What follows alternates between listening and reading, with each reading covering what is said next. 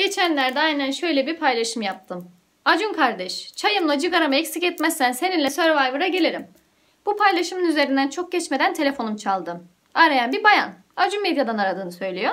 İstediğim çay ve sigara olsunmuş. Akşama kadar hazırlanırsam gelip beni alabileceklerini söyledi. Ben işi çok ciddiye almadım. Şaka falan sanıyorum tabii. Ta ki akşam kapıya bir araba dayanıncaya kadar. O zaman anladım işin ciddiyetini. Hemen hazırlandım. Alelacele çıktım. Gidiyoruz vardık şeye. Havaalanına vardık.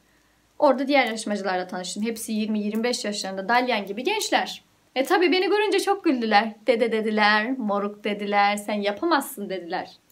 Dedim ummadık taş başlar evlatlar. Neyse tanıştık gidiyoruz artık. Domine'ye doğru yola çıktık. Uzun bir yoldan sonra Domine'ye vardık. Orada beni Acun karşıladı. Çok hürmet etti, çok sarıldı falan bana. Sonra tabii yanında da yabancı gazeteciler falan varmış. Beni onlara şey diye tanıttı. Türkiye'nin önde gelen mizah ve icra ustalarından Şakir Şükür. diye tanıttı. E tabii benim de çok hoşuma gitti. Çok memnun oldum falan. Çok geçmeden Acun bana şey diye sordu. Üstad, gönüllülerden mi olmak istersin, ünlülerden mi olmak istersin? Sorduğun kabahat Acuncuğum. Ben halk adamıyım. Tabii ki gönüllülerden olmak isterim. Dedim. Sonra neyse takımlar, ünlüler ve gönüllüler olmak üzere belirlendi. Biz gönüllüler olarak kendi takımımızla yola çıktık. Gidiyoruz. İsmi Danilo adında bir genç yanıma geldi bizim ekipten. Anlaşmaya göre cebime iki paket sigara koyacakmış. Anlamadım. Dedim ne oluyor? O da şey dedi. Şakir abi, çayın cigaran bitince sen bana geliyor. Ben sana çok güzel bakacağım. Anlamadım evlat nereden alıyorsun sen bu sigaraları? Orada bir köy var, oradan alıyor ben. Evlat o zaman bundan sonra şöyle yapıyoruz. Sen ne alırsan iki katı alıyorsun yarısı senin yarısı benim. Buna avanta derler. Anladın mı? Ben anlamadım. Neyse evlat sen Türkçe öğrenmişsin ama çok iyi öğrenememişsin. Eksik öğrenmişsin. Sen benim dediğimi yap yeter. Sonra neyse Danilo ile anlaştık. Gittik. Şeye vardık. Kendi adamıza vardık. Tabii bunlar ben yaşlıyım diye bana zaten yer vermediler.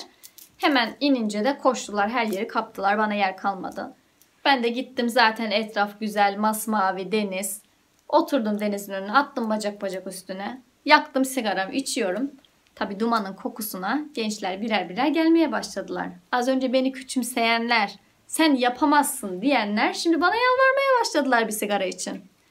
Hiç acımadım, hiç üzülmedim gerçekten. Sonra aklıma eski çocukluk günlerim geldi. Biz önceden bizim abilerimiz var mahalleden top oynarlardı. Aynı zamanda da sığırlarını güderlerdi. Biz de onları izlerdik. Biz küçüğüz diye bizi oyuna almazlardı. Sığırlar gelince de oyunlarını bırakıp da sığırları çevirmek istemezlerdi. Bize derlerdi. Gidin şunları çevirin. Biz de size bir daha sigara verelim. E tabi çocuğuz. 10 kişi birden sığırı çevirmeye giderdik. Karşılığında bir fırt çekmek için. Bir sigara için yani.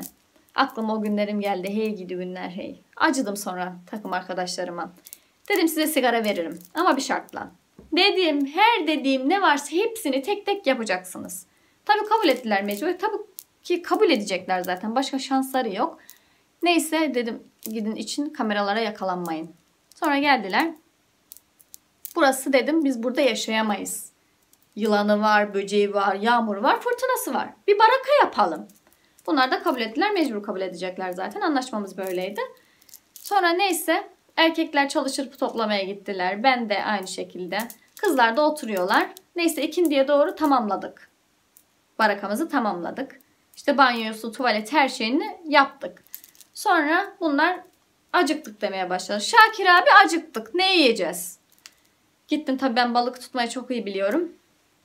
Bir aldım oltamı kovayı. Balık tutmaya gittim. Tuttum bir kova.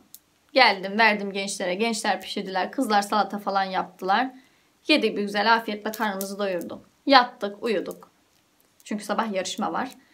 Neyse sabah oldu gittik yarışmaya. Acun ödül olarak bize simit, çay, küçük küçük şeyler veriyor. Biz zaten balık yiyoruz. Biz ne yapalım simidi, pirinci?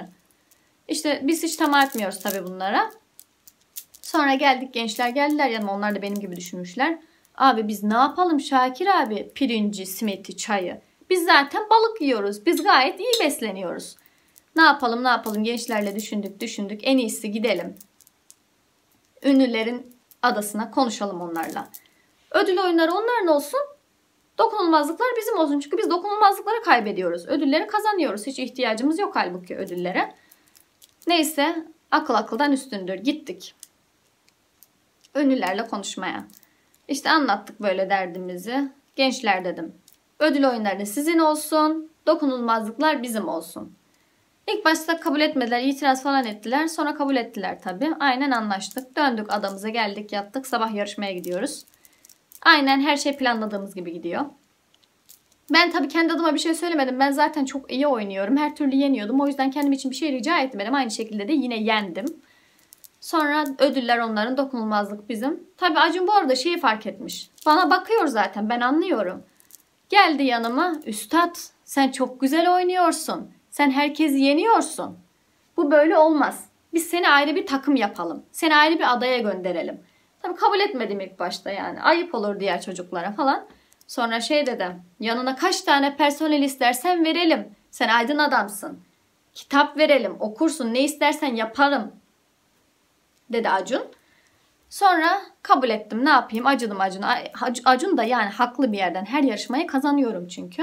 Dedi ben okumayı falan sevmem. Tesbihimi evde unutmuşum. Sen bana tesbihimi getir. Bir de biraz çerez getir. Tamam. Sonra neyse kabul ettim. Ee, Acunlar beni bıraktılar adama. Uzandım bir palmiye ağacının altına. O arada yatmış uyumuş kalmışım. Bir de uyandım. Şükran. Şükran senin ne işin var burada? Asıl senin ne işin var? Horul horul uyuyorsun mutfaktan. İşte o zaman anladım. Her şeyin rüya olduğunu. Şükran git sen bana bir çay koy da bir sigara fırtlayalım. Hemen getiriyorum.